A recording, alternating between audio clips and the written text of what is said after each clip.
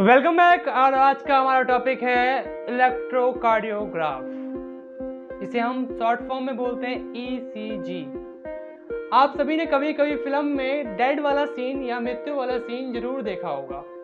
और उस पर आपने एक ऐसी तरह की एक वेव देखी होगी, जिसे हम इलेक्ट्रोकार्डियोग्राफ बोलते हैं। इलेक्ट्रोकार्डियोग्राफ देने वाले शख्स हैं डॉक्टर विलियम एथोवेन जिनका जन्म हुआ था 21 मई 1860 में।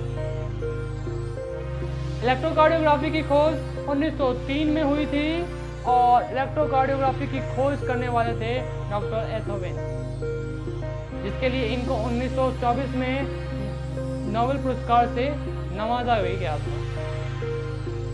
इलेक्ट्रोकार्डियोग्राफ भी शब्द देने वाले भी डॉक्टर एथोवेन है। उन्होंने बहुत सारे दिल के ग्राफ निकाले और एक ग्राफ का नाम रखा P Q R S T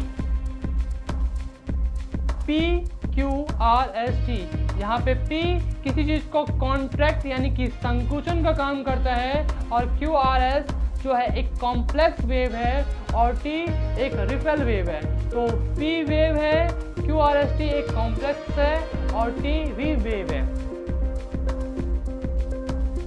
इसी संरचना के आधार पे आज हम, आज आधुनिक तर्क पे हम बहुत से हृदय की बीमारियों का पता लगाते हैं।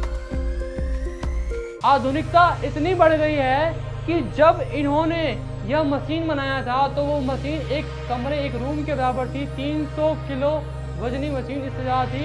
और आज आधुनिकता इतनी है कि संयुक्त राज्य अमेरिका में एप्पल नामक कंपनी ने इसको एक वॉच के रूप में बना दिया है, लेकिन अभी स्थायी रूप से इसको मान्यता नहीं मिली है।